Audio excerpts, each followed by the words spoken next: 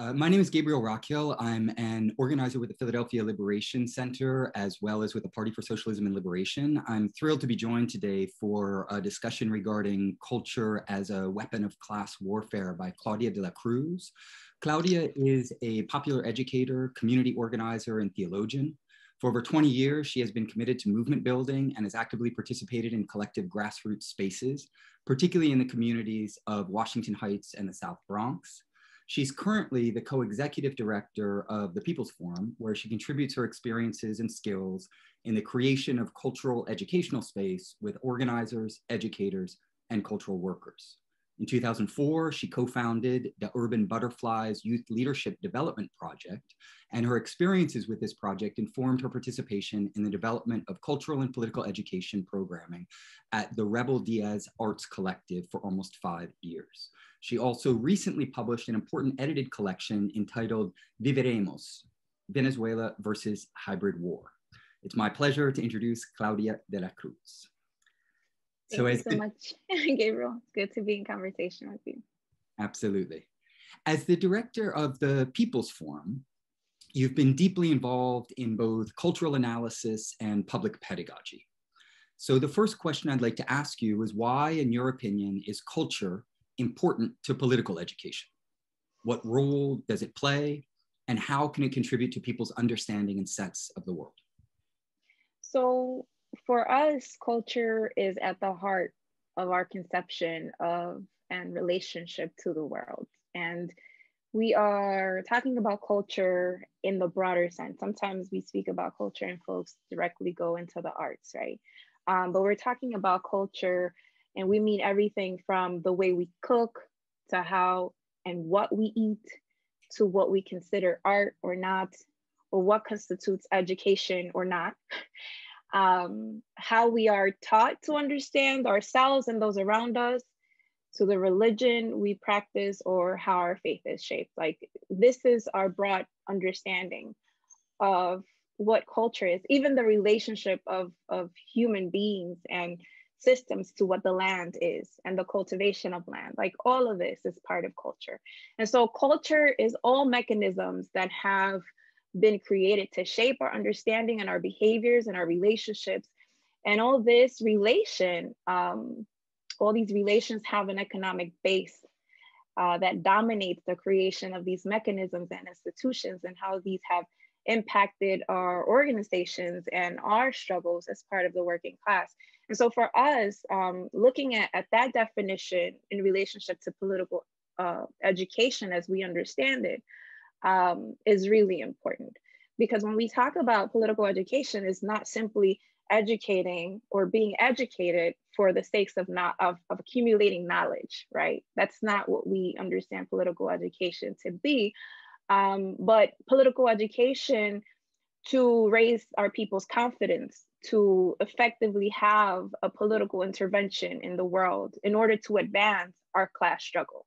That's our understanding of political education. Therefore, understanding our history of oppression, but also of liberation is important. Understanding culture as both the result of a people's history and also as a determining factor of a people's history is key for us um, and, and the organizations that we work for or work with to understand that, you know, when we're talking about culture is not just an addendum or an accessory. We're talking about something that needs to be at the center of what our work is. And it forces us to take the task of unraveling um, and deconstructing the culture that has been imposed on us by the bourgeoisie that is sustained and ensures the reproduction of capitalism. Um, and it challenges us to take on the task of reclaiming and reconstructing the lineage. We in Spanish often talk about, um, you know, in, la memoria histórica, the historical memory, and how to like we reconstruct that, um, and how do we, you know, integrate what cultural resistance is to every aspect of our life and also our, our of our education and study. Um, and how do we go back to the authentic people's culture, right? La, la resistencia y la cultura popular. Um, we're currently experiencing a deep crisis that is economic, that is social, that is political, that is environmental at a global scale. And, you know, we understand that this crisis is a product of capitalism. And there's also an ideological piece to it, you know, that has um, been an ideological warfare to us. And so when we're talking about, you know, resistance, we want to also engage in the battle of ideas. We want to be able to be equipped to be able to understand how our, you know, and I guess we'll talk a little bit more of that further down the line, but how have we been oppressed and how have nations through imperialism, through cultural imperialism, have also been oppressed, exploited, and continue to be. And so when we're talking about political education in relationship to cultural resistance, is we think it's one in the same, like it's part, uh, integrate, like an, an integral part of of the struggle and organizing, but also of our study. Great. Why is it important to reflect on and understand the expansiveness of culture beyond just the restricted category of, of art? Mm-hmm. I mean, I think it's important, uh, um, and we we think about it a lot in the People's Forum and the work that we do, um, mostly because we understand that, again, we need to look at the questions of how do we combat a culture that promotes hyper individualism, consumerism, ignorance? How do we, uh, as organizers and educators, not only challenge those values and atti- attitudes, but also model and provide a radical imagination for, for future you know, in our efforts to build a new society? How do we inspire people? How do we move them, the hearts and minds of people? How do we think about culture in relationship to political organization and the way in which our, or, like the culture of our organizations? How do we think about people's resistance? Um, and, and so these are all questions that we are kind of struggling through, through and moving through and, and trying to, to explore collectively. We, again, we are experiencing a crisis uh, of values and an ideological warfare from the capitalists. And so how we equip ourselves to effect effectively be part of the class struggle is dependent on how clear is our understanding of the mechanisms and processes that the elite have built to wage war against us right and so when we talk about occupation we we often not talk about the mental terrain as an occupied space you know, and, and the mental terrain of the masses has been occupied. And so it's very important for us to understand how that's happened, how that continues to happen, um, or else we often fall in blaming our people for not understanding what we're trying to talk about. Um, and we, we need to know that it's been hundreds of years, many generations of, of, um, of imposed cultural understandings and practices and attitudes by the capitalist. Um, so again, in order for us to effectively intervene and move people's hearts and minds towards our class interest, um, we need to be able to know where the mental terrain of our people is. And so we need to be able to study the mechanisms that have been utilized by the, by the ruling class. Um, for us, it is impossible to gain a depth or breadth of the, of the importance of art and culture as a weapon if we do not refer to history, to the economy, to the way in which we have been taught by the elite to perceive reality. Um, and equally important, the task of taking time to study and learn and reclaim the ways in which we, um, our people, have also utilized working class culture as, as a defense mechanism. Um, and preser- like the preservation and in, uh, imagining and constructing our own reality of liberation. Like Amilcar Cabral spoke to that. Chavez knew exactly how to do that. Um, we, when we look at Claudia Jones, at Fidel, at Celia Sanchez, and so many others that have been engaged in national liberation struggle, they have understood the importance of culture, the study and analysis of culture, and the reclaiming of cultural resistance. Um, and so it is critical for us to be able to engage in that way and give it that that much of importance um, if we're if we're going to move our, our struggles forward. Like if we think about the ways in which capitalists have, um, you know, corporations, the government have historically taken the language of the people, you know, the struggles of the people, whitewash them, and then sell it back to us to advance their interests. Like we we're this is Pride Month, right? Like People often refer to pride in relationship to a parade, right? But not in relationship to the riots, um, not in relationship to, you know, the LGBTQ community that came forth, trans women, um, that came forth and actually linked, uh, you know, the the the riots to capitalism and the struggle for liberation. Like people don't often think think about that because the system has a way of taking these these spaces of struggle again and appropriating them and selling them back to us. They they make these these struggles a commodity. Memorial Day and its relationship to the um, the the black community that was actually celebrating they're martyrs like they're and it's taken whitewashed and sold back to us as a day of celebration that the capitalists actually give us i don't know what 30% discounts at stores and everybody needs to go shopping right? Um mlk day right? And we could go on and on and on. These are all these these all have had roots in struggle. These are all product of a social opposition to social economic and political exclusion and exploitation but somehow they've been appropriated and wiped out of their radical roots into empty radical de- declarations and symbolic acts, right? After a long and heated summer last year of anti racist rebellions, all sorts of capitalist corporations have pronounced themselves to be sympathetic to the Black Lives Matter struggle, and yet they continue to extract and exploit Black and Brown labor in and out of the states, right? So these are all contradictions that we need to be able to identify and we need to be able to use in our in our education efforts within our community so that people understand that capitalism is not being nice to us. Capitalism doesn't really like us. On the contrary, like it feeds off our blood and sweat and the way in which they gain, gain uh, consent and you know not only through like physical force is through the occupation of our mental terrain. You know it's making us believe that there's a certain type of liking us and being with us. And so we need to be able to start analyzing how that's happening and deconstructing how that's happening and reconstructing a new way of thinking and relating to these mechanisms. I take it then that for you, culture is really a, a central site of class struggle.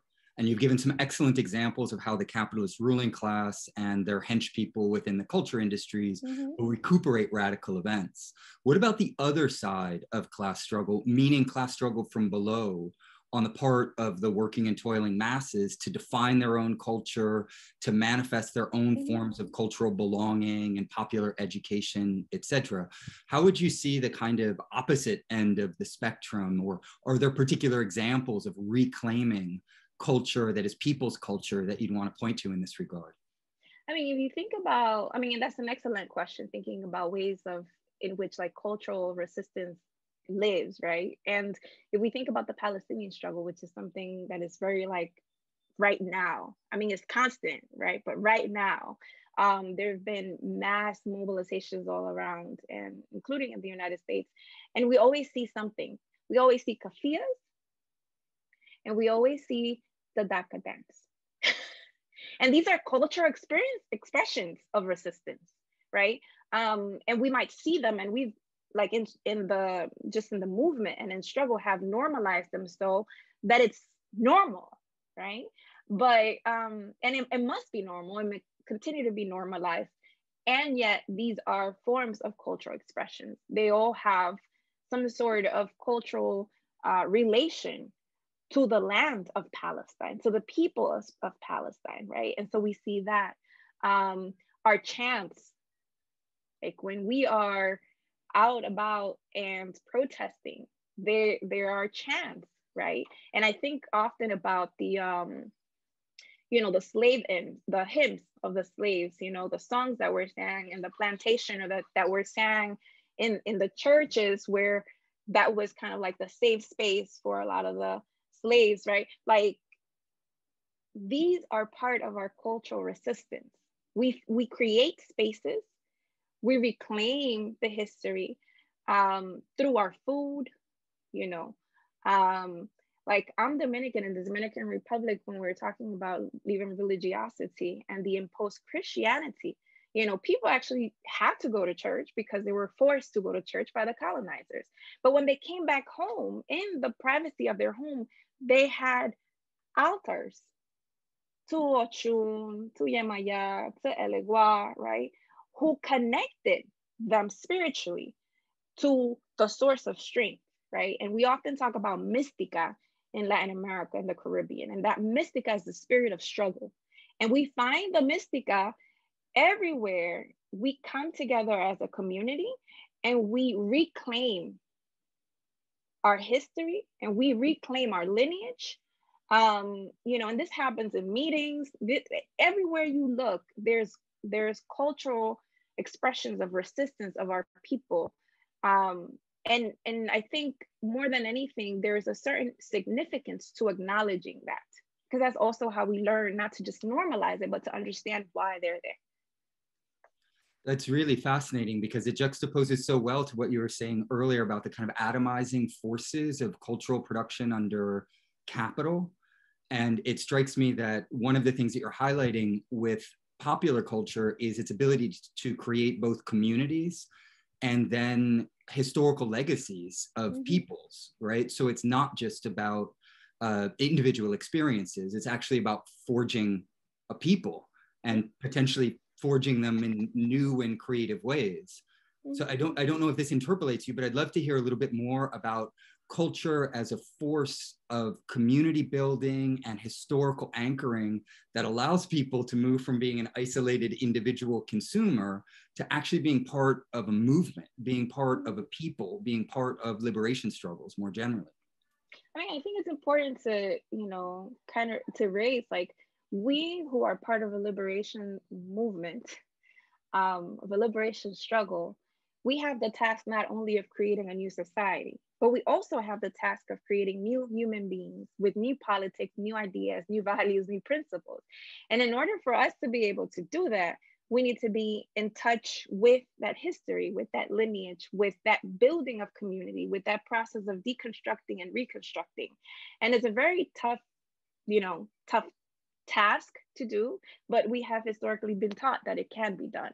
Um, and so, you know, this aspect of, of building community and be building the new human beings it's not a mechanical one. It's pretty much an organic process that has a lot of political intention. There's a lot of political intentionality of why we do what we do and how we do it right? Because we're also very understanding that capitalism has been very intentional in the way in which it has attacked us and the way in which it has kind of dropped in their ideas and values to serve their purpose. And so, um, again, in the process of building our community, in the process of building our political organizations, the type of culture, the type of structure, the processes, the systems are what will ultimately show that community that there's a possibility of building something new. You know, it will attract uh, folks, ordinary folks, into the space that will have problems and will be challenged by that new way of operating. And you know our capacity to be able to uh, understand that and struggle through with our community as they adjust it's also very telling about how will we act when we actually gain political and economic power right? And so if we if we take the moment in which we are in as a as a test of how do we develop you know the systems the mechanisms the processes this new culture these new human beings um, then we will be more ready to be able to advance towards getting economic and political power which should always be you know the aim of class struggle um, because that's another you know i think difference in the united states and, and United, the movements a lot of the movements in the united states uh, versus you know, the global south. We are constantly in struggle. And because we have been, eh, something's been ingrained in us that we are against bureaucracy, that we are against order, that we are against all these things, we often fight against capitalism, but we don't say what we are fighting for and what we want to establish.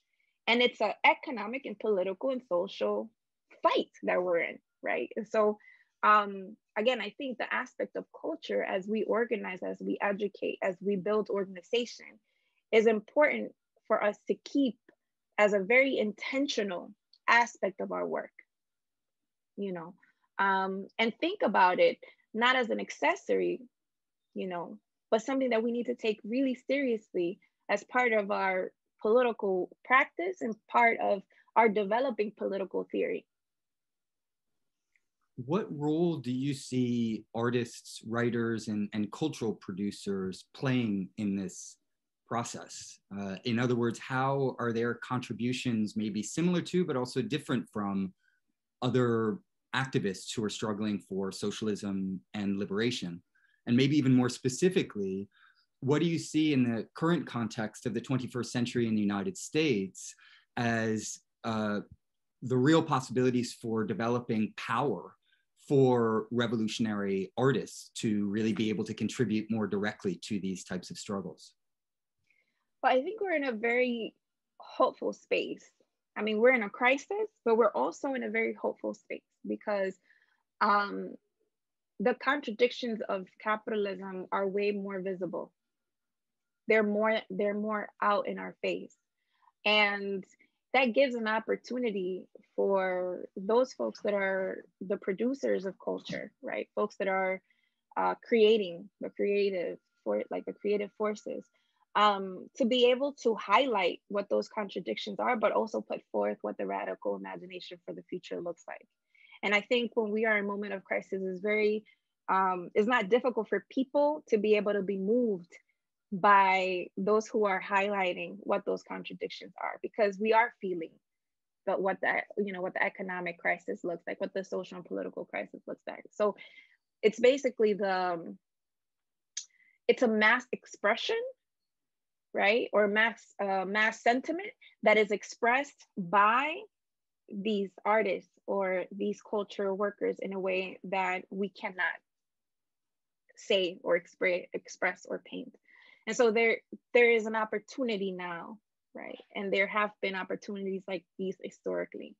Um, what the role of an artist i think is is very challenging because it challenges the idea of an individual practice.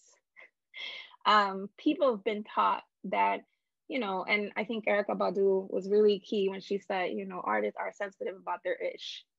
Um, they are sensitive, right? And at the same time, their task, if they have uh, a commitment to social change, to economics change, um, just to transformation in the world, there is a challenge of working with organizations.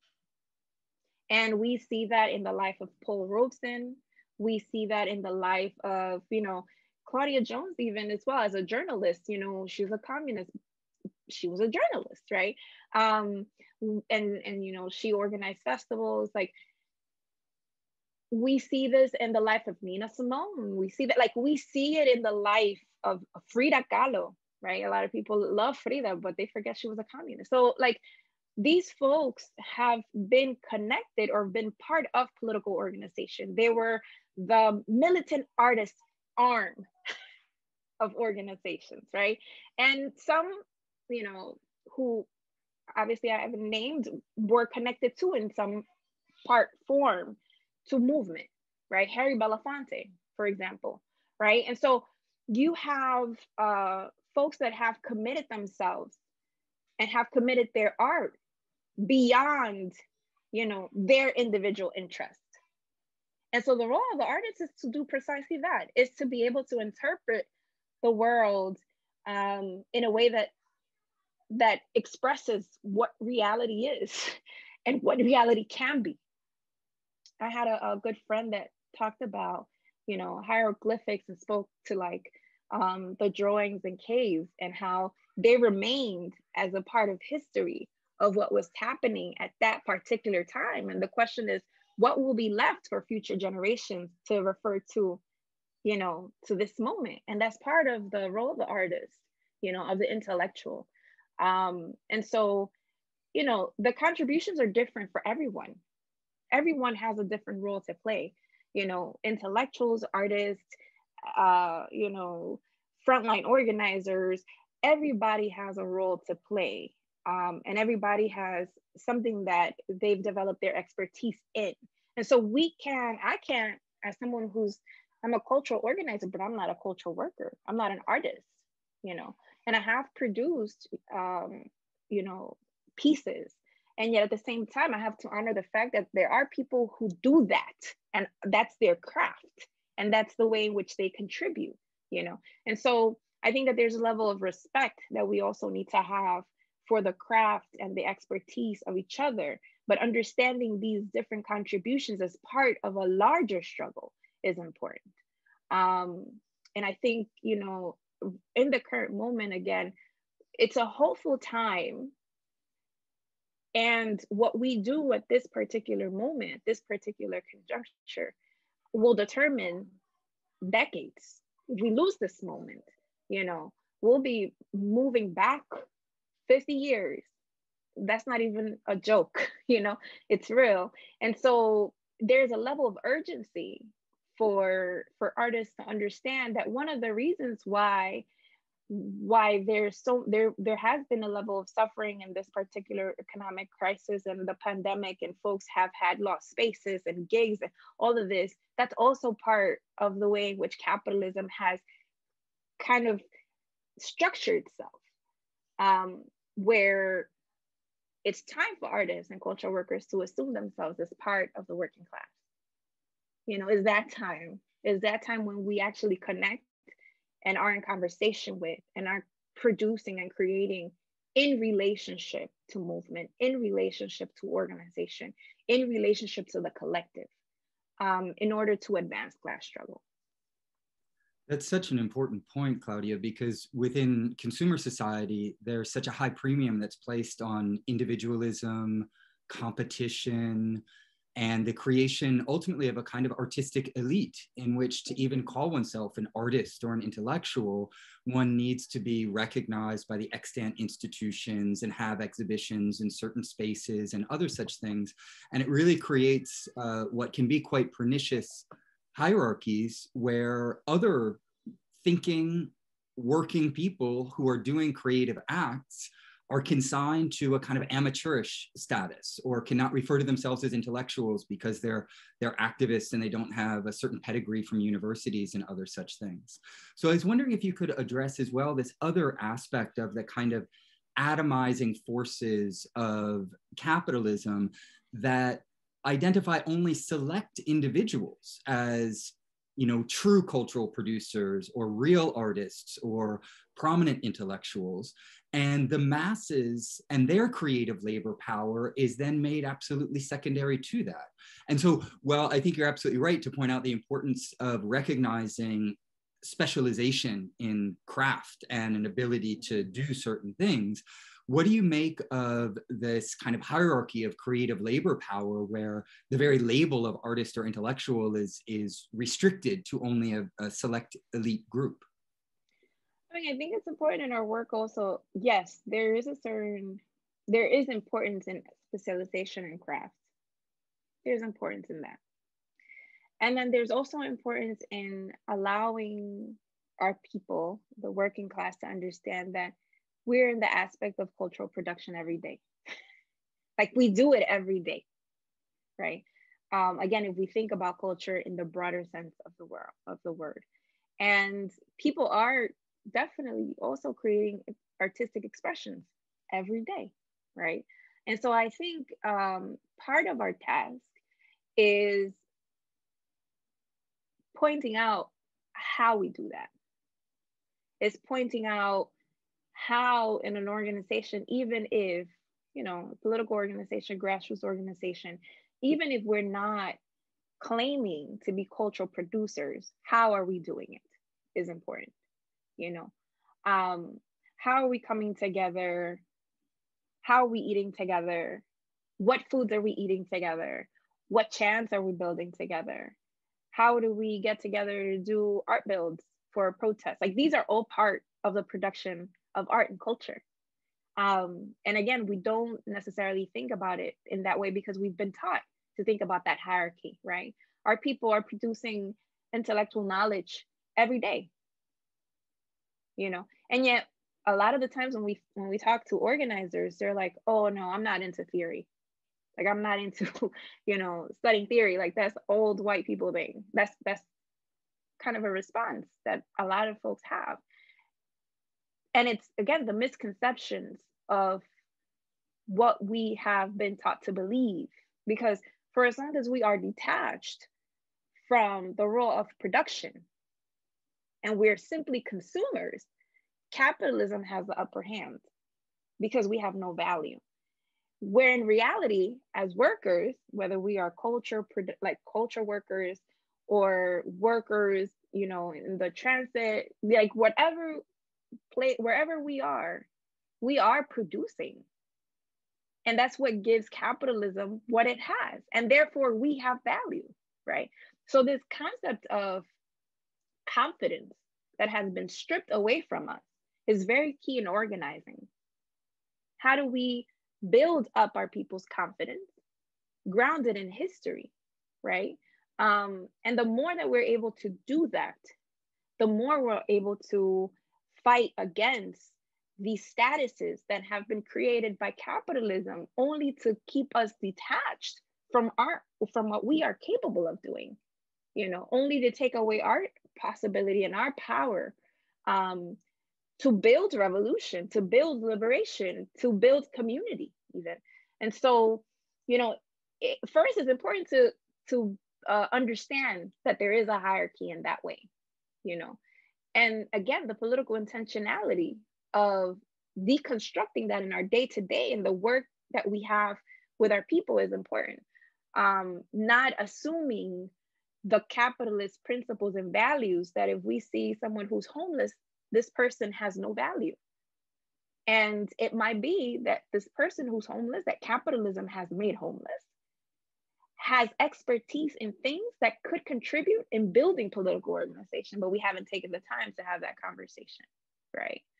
Um, and so I think you know it's it's highly important for us to know our know our people, know the mechanisms that have been used against us, and start deconstructing that in our day to day, not not not as a theoretical exercise, but as a practical exercise that then becomes theory. Let's talk a little bit more explicitly about the power structures that are in place and why it is sometimes difficult to do some of the things that you're encouraging us to do. More specifically, I'd like to invoke uh, the work of Bertolt Brecht, who refers to what he calls the cultural apparatus, right? And this is the entire means of cultural production, cultural circulation, and also the reception of cultural products. And that that cultural apparatus, at least within a country like the United States, is currently in the hands of the capitalist ruling class. So they have an awesome power to be able to produce and distribute the culture that they decide on. And you mentioned this earlier, we kind of skipped over it, but if you want to go back to, it, I'd be happy to.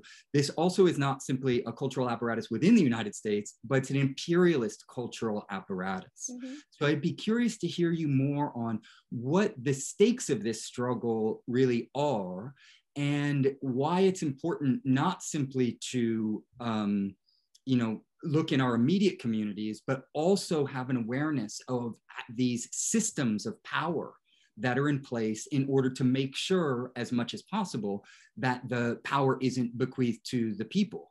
And so what's it mean really to think through the you know even the possibility of seizing the means of cultural production circulation and reception? I know that you've done a lot of work on socialist or socialistically oriented countries that have done precisely that and so I'd be curious, I know that I'm packing a lot into this particular question, but to hear you on uh, the need to kind of critically reflect on this capitalist um, cultural apparatus and its imperial elements. I, mean, I think it's important. I'm, I'm so happy you brought, brought in uh, Brecht um, because he, he, along, you know, with folks like Gramsci and other folks really, really thought a lot about question of cultural apparatus in relationship to capitalism. Um, and the way in which, you know, systemically and institutionally, um, these are are meant to be able to advance capitalist uh, interests. Um, and to, like, I think it's important to be able to understand that when we're talking about culture, again, we're not talking about the development of something in a vacuum. It has an economic base to it. Um, when we look at revolutionary processes, whether it be Cuba, Venezuela, Vietnam, China, there was a reclaiming of like indigenous cultural aspects to these nations, right?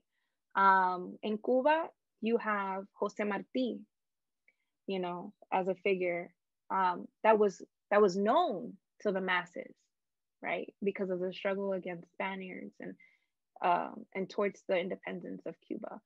In Venezuela, you have Simon Bolivar as a figure that was that is known not only in Venezuela, again, worldwide and in the continent of the Americas, you know. And so there's this tapping into the memory of of people, right? But that's not done by itself. It's connected to the socioeconomic program socioeconomic and political program, right? Um, and that's highly important to say because one of the things that you know Fidel spoke often about in relationship to the battle of ideas is that ideas on their own don't really mean much.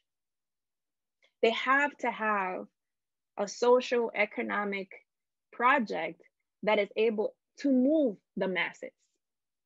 Like the masses need to get behind that idea in order for us to be able to win.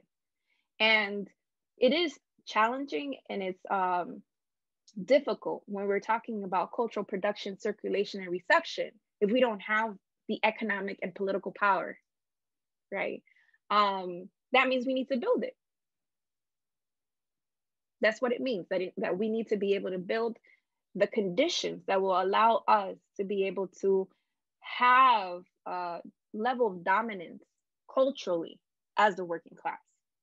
And, you know, again, it fights the idea that um, we're creating for just for creation's sake or that we're creating creating to be in struggle all all the time no we are creating to win and therefore whatever we create needs to be connected to a social economic and political proposal of what we will do and how we will do towards that moment of when and after. And so it needs to be connected to a program um, to be able to kind of shift the powers and be able to build, uh, for lack of words, a cultural apparatus for the working class or with the working class. We need to build a revolution. And so, pending that revolution, we need to figure out how do we do that in a way that is not only nationally done, but it's also in relationship and conversation with those who've done it. So we have to be in conversation and study the Cuban Revolution from an aspect of its cultural development, its revolutionary cultural development. We have to do the same with Venezuela. We must do the same with Vietnam. We need to make sure that we understand very well um, the Chinese Revolution. right? Um, and I'll, I'll refer back to Amilcar Cabral again. You know, it's very difficult to penetrate a nation if there is strength in its culture. Cultural imperialism has been kind of like the key to a lot of what's come after. Like McDonald's, Starbucks, all these corporations have integrated in themselves, I mean, have imposed themselves in these nations in a way that have, you know, diminished the value of what's nas- nationally produced, right?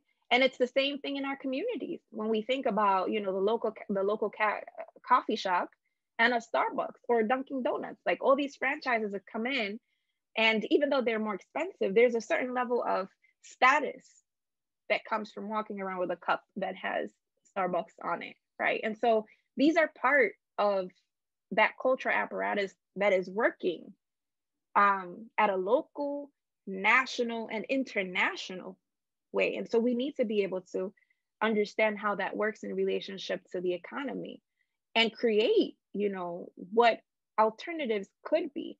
Um, and that's not to say that, you know, it's going to be plainly socialist in this capitalist society, but we're we're experimenting. And that's I think that that that's the key part of it. We're experimenting.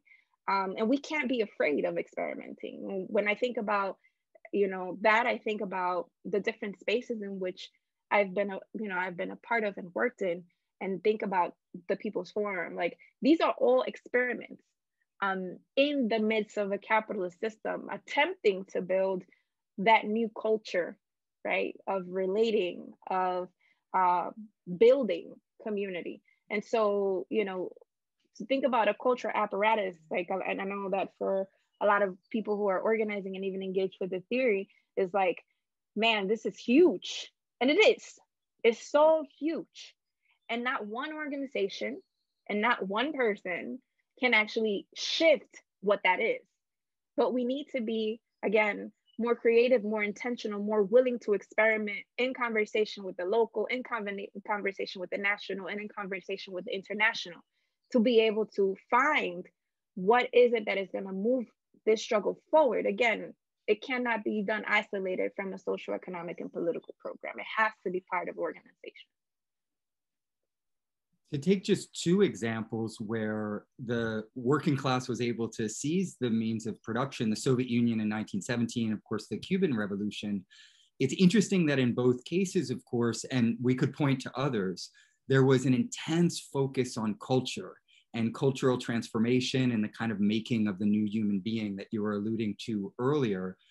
I'm curious to hear your thoughts on some of the debates, really important debates, I think, that emerged at these times were around the relationship between a kind of emerging socialist cultural apparatus on the one hand, but then a deep history of art that was being made under either feudal social relations or under capitalism.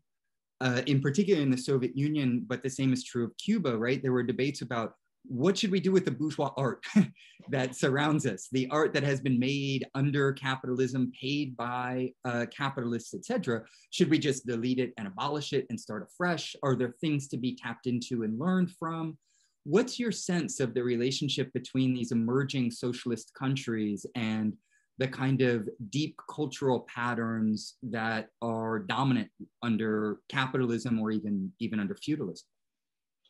So you know I, I like to go always to I love Gramsci, so I used often refer to to him, and obviously he was a Marxist Leninist, and that's so always so good to be able to uplift his, well, you know, cultural Marxism kind of kidnaps him and says that he's not, but he was a Marxist Leninist. He he talked about you know the the the good sense and the common sense and how when we are talking about you know creating new ways. We all always have to take into consideration what the common sense is you know where people are at in order to be able to tap into what they know and shift that to you know what is good sense what is the mass what what is our interest as a working class. And so you know going back to the ussr and and the revolution um, and their understanding of art and and just culture and generally it's important to say that you know the um, the main um, consigna, like the the main saying, was art for the people, art for life. That was something that uh, Vladimir Tatlin said, and it was the understanding that you know no longer for the bourgeoisie, no longer for the aristocrat, art would now be for the people. Um, and the art market was to be abolished. Museums were to be nationalized. The worker state became arts patron. Like it's for the people because you know ultimately the producers the producers of art are workers.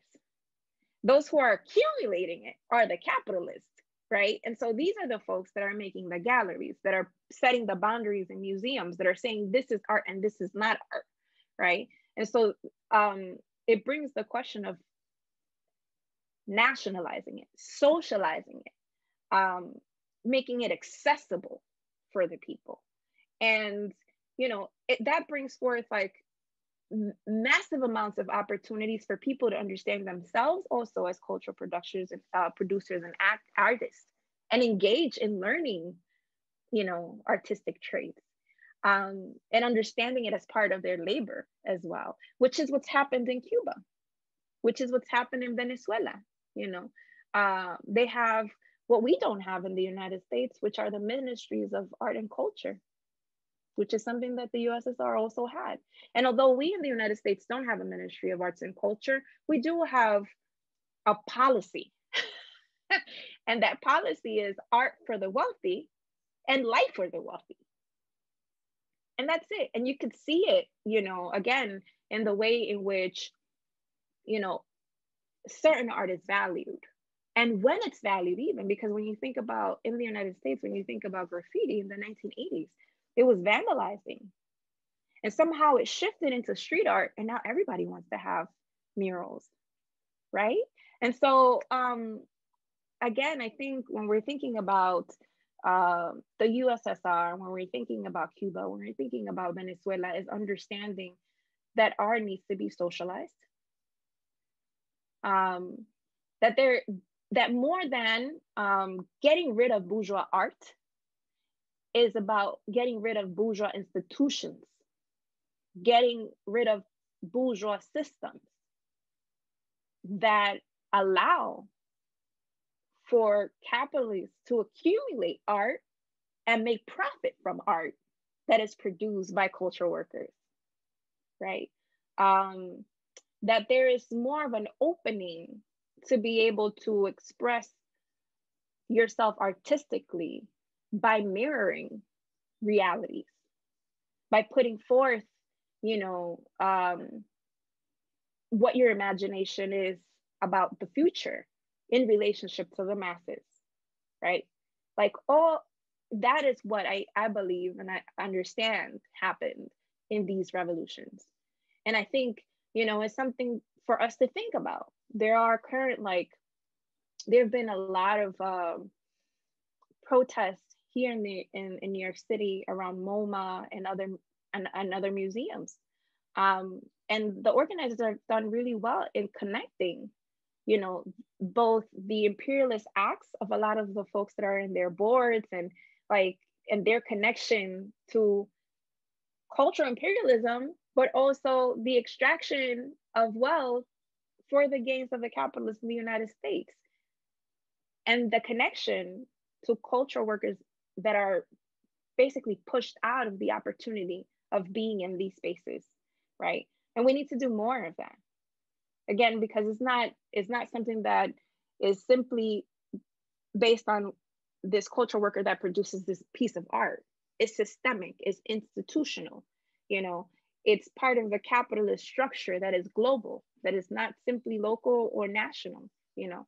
Um, and so, yeah, when we're when we're we're thinking about these social states and the history of art, we need to look at the ways in which they were nationalized, they were socialized, and they became accessible to the most ordinary worker to be able to elevate our understanding of culture and art and our capacity to be able to be engaged with it and create it. That's such an important point. You know, Claudia, there are so many writers and artists and intellectuals who are involved in the movement, but who are also looking for examples to learn from right? Given that most of the artists, musicians, and writers that are readily available within the kind of capitalist apparatus of art production, most people will know, you know, Beyonce or others, but they won't necessarily be, be aware of those artists who have been either marginalized or structurally excluded from this system of artistic promotion for the bourgeoisie. Are there particular artists, movements, uh, platforms for sharing artwork that you would recommend to cultural producers involved in the movement who want to learn more about what revolutionary art making really looks like?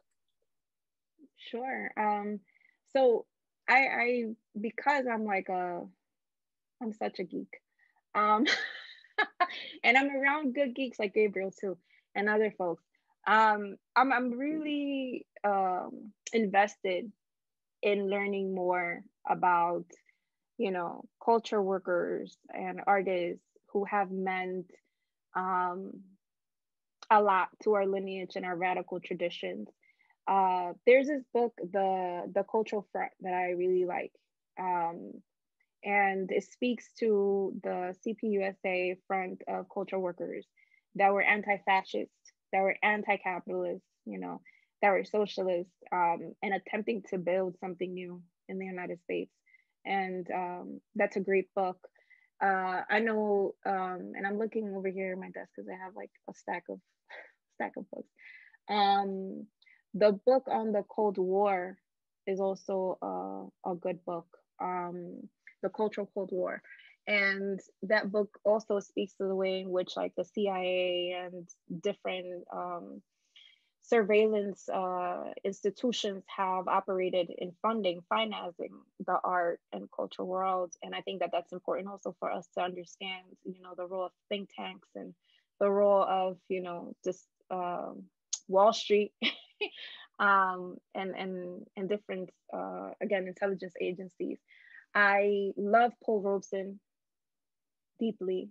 Um, Paul Robeson's story is is really great. There's a there's a book on Paul Robeson and his relationship to W.E.B. Du Bois that is really good. It's called on um, I think the professor and the uh, the pupil. Um, there are in terms of platforms, we at the People's Forum has have actually created a platform that is uh, of political education and it has uh, space for and on cultural hegemony um, and cultural resistance and the battle of ideas. So there's resources there. Amilcar Cabral also speaks to national liberation and culture. Um, you know, eh, there are speeches from Fidel, particularly Fidel's speech to the intellectuals, uh, which was really great. Uh, to think about the role of the artist, right, in the process of building revolution. Um, you know, I mean, there's so there's so many resources out there. The the problem again is the accessibility and actually being able to identify what they are. Um, there there are a lot of um, artist collectives in the U.S. that are now questioning, you know, their role in this moment, um, and that's a good place to be in, right? And I think that um, they are objectively doing the work of those cultural workers that are moving towards socialism and are moving socialism forward in the country, but they might not be claiming to be socialist. And that's another thing that we have to be clear about as organizers that folks may not claim it, but we need to see what their objective work looks like and if it's aligned with you know, our politics, most likely they will get there. They will get to the point of self-proclaiming that they're socialists. But it takes a little bit longer, especially in the in the art world and in the culture work um, spaces. And so, you know, there's just a lot to draw from historically in terms of po- folks who have attempted to build, you know, cultural fronts, collectives, organize themselves more politically as cultural workers. Um, and I'm I'd be more than happy to share some, although I know you might have a lot of that, Gabriel, as well. Well, maybe we can add a kind of further reading section to the mm-hmm. Mm-hmm. to the interview. In the interest of time, I might just ask a final question to kind of bring some of the threads of this really rich and um, rewarding conversation that we've had thus far. And that is a question on cultural revolution it strikes me that this is kind of lingering in the background of a lot of what you've said. And if we put it very simplistically, there are those who have argued that, well, art is a liberatory force unto itself. And there are others who have claimed that no, we have to seize the means of production and then we can revolutionize art post, you know, revolution. And it strikes me that what you've been saying is is something a bit more dialectical, I guess, right? Mm-hmm. That these material struggles for building power as cultural producers go hand in hand with the ideological struggles of expanding our understanding of culture and then working as cultural producers in various ways. And so I don't want to answer the question for you in the way that I've put it together, but I'm really curious to hear you on the logics of cultural revolution and how the kind of material aspects of the socioeconomic relate to the ideological aspects of struggle based on what you've said thus far. How do you understand cultural revolution? So I think that there's like some key elements right to to the work and it's definitely like dialectic like it's not something like we'll, we'll when we get there we'll do this like we need to be able to gain some i'm sorry you might okay. You, you ate breakfast? Okay. Papa fed you? Cereal okay. Yeah and then you're gonna have lunch okay. All right. sorry we should, we should keep that in there, but we'll probably edit it out. So go ahead, pick, pick, pick two. okay, so I think that um, so some of the things, some of what I've shared has to do with like redefining, reclaiming, reactivating, and understanding art as an action that is a political action, understanding it as a pedagogical instrument for the construction of the new consciousness that we're trying to build, of the new society that we're trying to build, of the development of political strategy, even, right? Sometimes we don't even think about art in relationship to that. Um, thinking about art and culture as a emancipatory uh, tool of the working class, um, as a tool of communication, as a you know, as a space for human development. Like these, all these things are important to take into, into consideration.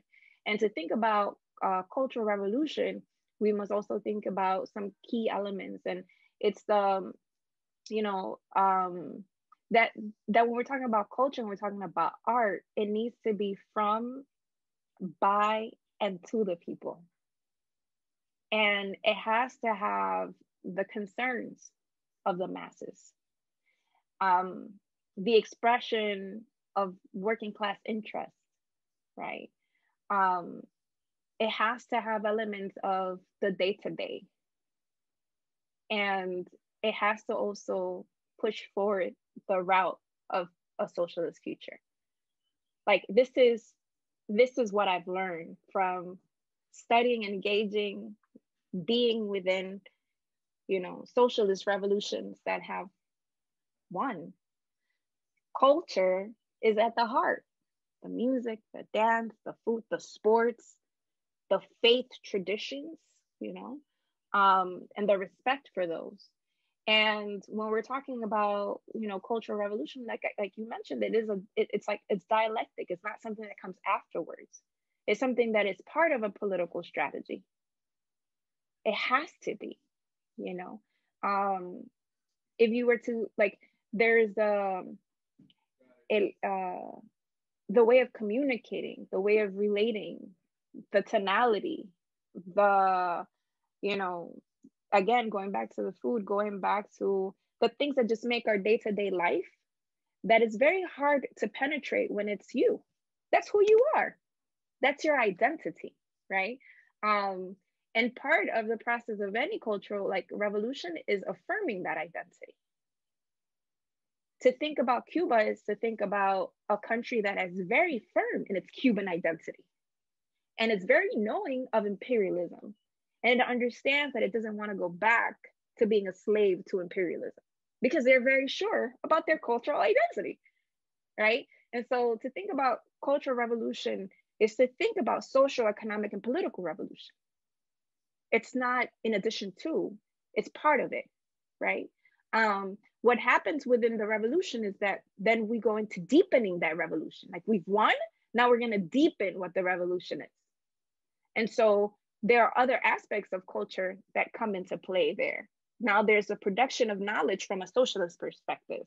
Now there's the, their production of uh, of TV shows that bring forth what we understand, you know, is the preoccupation and the interest of the working class, right?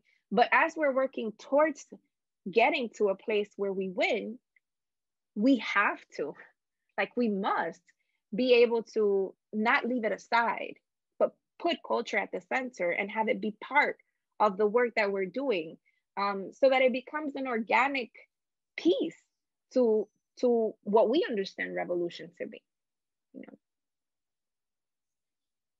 well, that's an excellent place to wrap up thank you so much claudia for taking the time to speak to us today about culture as a weapon of, of class warfare. Well, thank you for inviting me and allowing me to talk about one of my favorite topics in the world.